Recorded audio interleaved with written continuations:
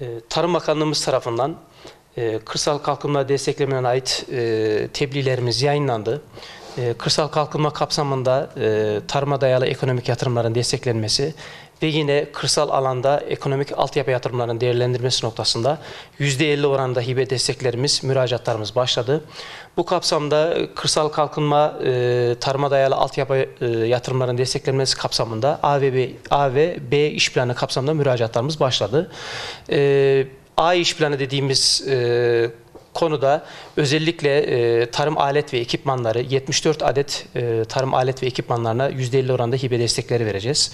E, proje büyüklüğümüz 300 bin liraya kadar olan tarım alet ve ekipmanlarına destek veriyoruz. Yine B iş planı kapsamında dediğimiz e, 20 bin lirayla 600 bin lira arasında hem inşaat hem makine ikisi bir arada olan e, yatırımlara %50 oranda hibe destekleri müracaatlarımız başladı. Müracaatlarımız e, 12. ayın 17'si itibariyle sona erecek. E, tabii müracaatlar internet üzerinden çiftçilerimiz tarafından kendileri tarafından internet üzerinden gerçekleştirilmiş olacak.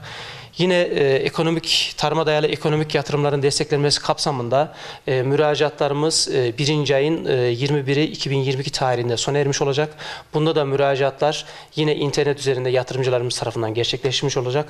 Tabii e, ekonomik yatırımlar kapsamında e, bitkisel ve hayvansal ürünleri işleyen, depolayan, paketleyen kurutma tesislerine %50 oranda hibe desteğimiz var.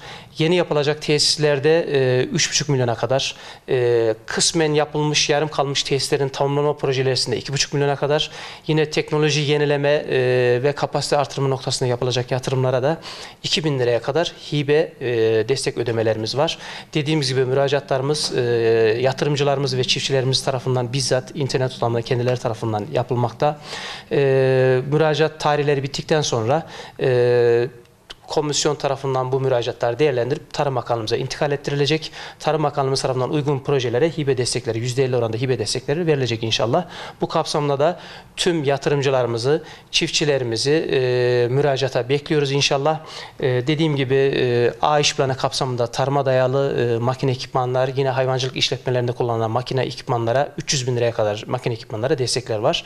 Onlar da %50 kapsamda e, B iş plan dediğimiz küçük e, inşaat ve makine ekipmanı içeren e, projelerimize de 20 bin lirayla dediğim gibi 600 bin lira arasında bunların müracaatları 17 Aralık itibariyle sona erecek. Bu kapsamda da tüm çiftçilerimizi, yatırımcılarımızı e, 17 Aralık'tan önce müracaatlarını bekliyoruz inşallah. İlimize, memleketimize hayırlı olsun inşallah.